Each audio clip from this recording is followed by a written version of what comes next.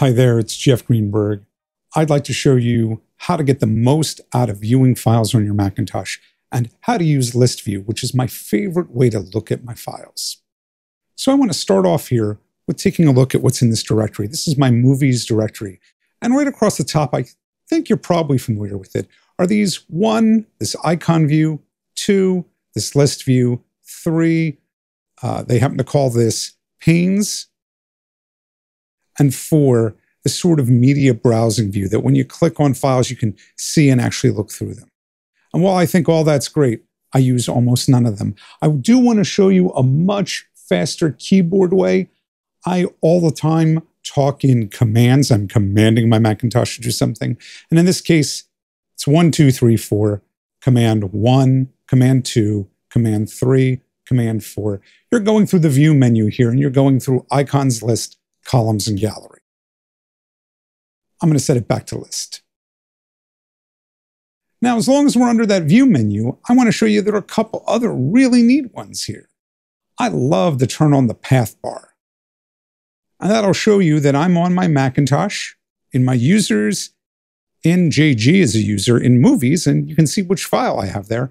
I can double click any one of these, and I can go right to that spot. You'll see I've gone up two levels and I've got a back arrow here. This is just like a browser. I can just go back and it'll put me back in movies where I was. Now, just like I like the path bar, I also really like a view here called status. And the status bar tells me how many items are here and how much space is available in my system. All right, we're ready to rock and roll now. I'd like to move up, and for the moment, I'm going to move all the way up to the top level of my hard drive, or maybe just to my user. And for that, instead of me navigating here or having to create a new window and dig up and down, I'm going to use the command up and the command down key. The command up will go up one level, command up arrow. And I'm now in my movies.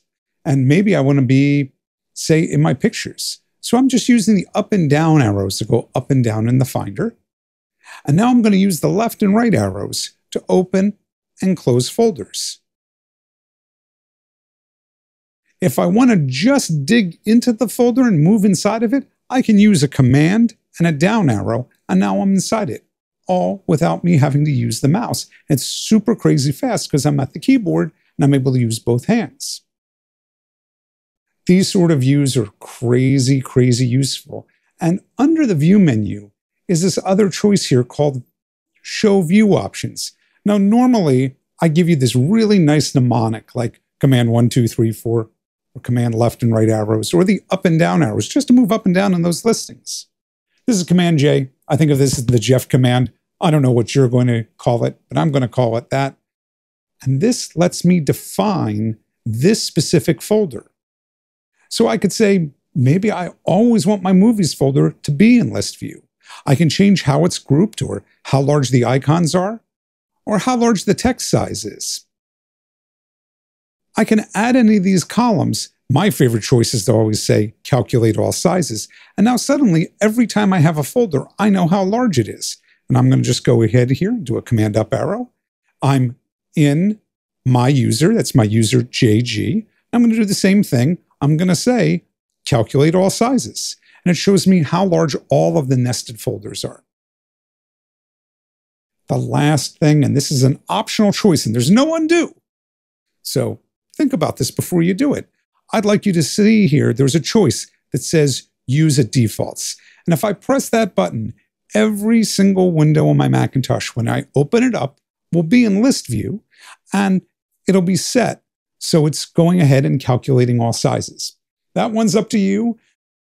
And you might very much want to say, well, I want my whole Macintosh to be in list view, but I'd always like my pictures or my movies to be in command one to be in this icon view. But as I said, I pretty much like command two list view, and I have it set on my Macintosh systems to be used as defaults.